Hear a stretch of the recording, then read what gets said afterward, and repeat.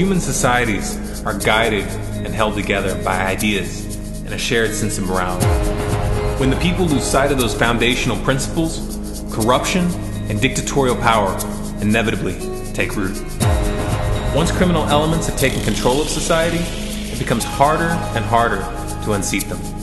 As this process of deterioration progresses, there comes a point of no return, where real change can no longer be achieved from within the existing system. We've reached that point some time ago. It's time to come to terms with that and adjust our actions accordingly.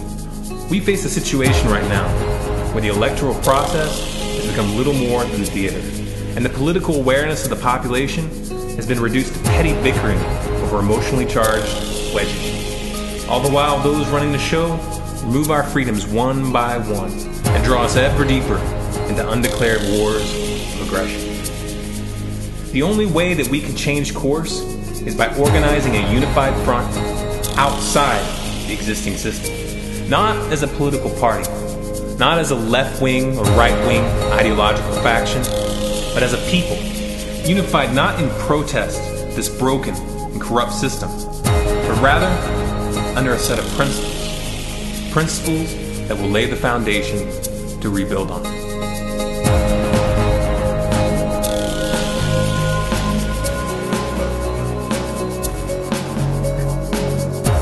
Any right that is a true human right is inherent. Such rights are not granted by government they're not privileges bestowed by society or created by documents. Therefore, such rights cannot be regulated, limited, or revoked by any such power. Any supposed authority which seeks to strip a natural right from the people is illegitimate and should be dealt with accordingly. The most common way that rights are subverted is through the assertion of rights which are not rights at all.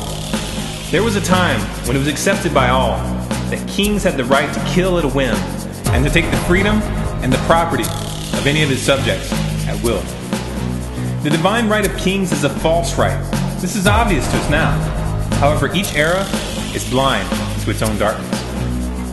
Before we can even begin to understand the true nature of rights, we must first answer one question honestly follow the implications of their logical conclusion. When is violence justified? It's a simple question, and there's only one sane answer. The only morally acceptable context for violence is defense. That answer is often referred to as the non aggression principle. It's a fancy name for an obvious and simple truth.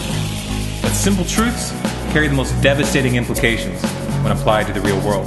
Let's follow those implications and see just what it tells us about rights. Each individual owns their own life. To claim the authority to control or terminate the life of another is inherently violent. It is a claim of human ownership, and it is a fundamental violation of natural rights. Up until very recently in history, the ownership of other humans was explicit. Slaves and vassals were considered the property of their lords and masters. Their labor was extracted without compensation. Their lives could be taken at any moment, and their freedom was strictly limited. Modern states exercise these same powers, but they disguise their totalitarian nature by distributing the mechanisms of violence and control through a labyrinth of bureaucracies. The ownership of humans is no longer acknowledged outwardly, but on every practical level, it is very much enforced. Torture, assassinations, and wars of aggression are the most blatant expressions of the contempt of the right to life. These acts demonstrate the perverse belief that the life of another person is theirs to destroy at will. They are the ultimate assertion of human ownership.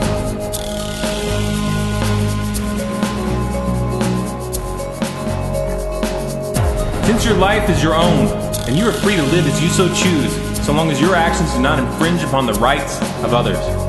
The right to liberty encompasses, but is not limited to, the freedom of speech, the freedom of assembly, and the freedom of thought.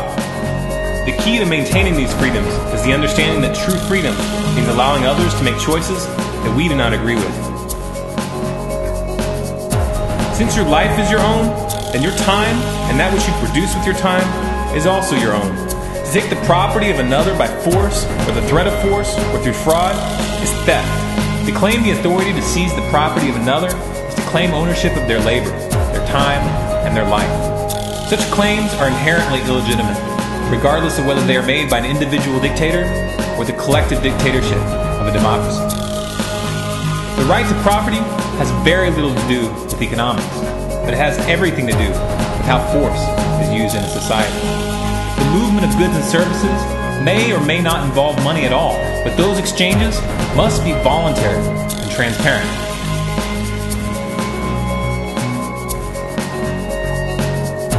Non-consensual searches of one's home, transport, or person, and the surveillance of communications and personal transactions outside the investigation of a specific crime is an act of aggression. Barriers to travel, employment, healthcare, and other necessary functions which force individuals to waive their right to privacy are veiled forms of violence.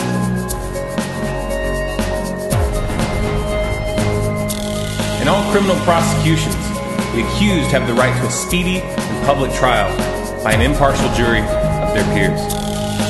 All juries have the right and the responsibility to deliver their verdict in accordance with their conscience, regardless of whether that verdict contradicts written law or statutes. No legal context shall be invented or construed which bypasses the right to a civilian trial. Military detentions and assassinations of civilians, regardless of the nationality of the accused and regardless of the allegations, are direct violations of this right. The right to defense is the boundary which makes all other rights possible. If you do not have the right to defend your life and the life of those that you love, then any of your other rights can be taken from you by anyone with the means to do so. Somewhere between 190 million and 260 million people were murdered by their own governments in this past century alone. This figure far outstrips the number killed by all international and civil wars during that same time period combined. It should therefore be abundantly clear that the state cannot be trusted with a monopoly on violence and cannot be used as a substitute for the right to self-defense.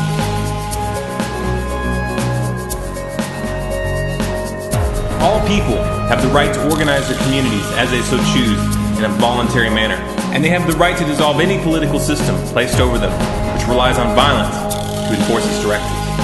In a society which adheres to the non-aggression principle, the creation and dissolution of organizational structures need not be violent.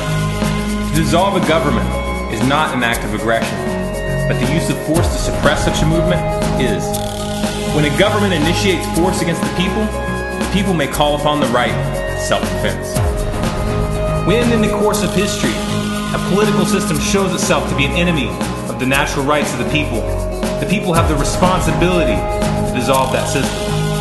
Stand passively by without so much as raising one's voice as the tide of tyranny rises is a betrayal of our children and our grandchildren.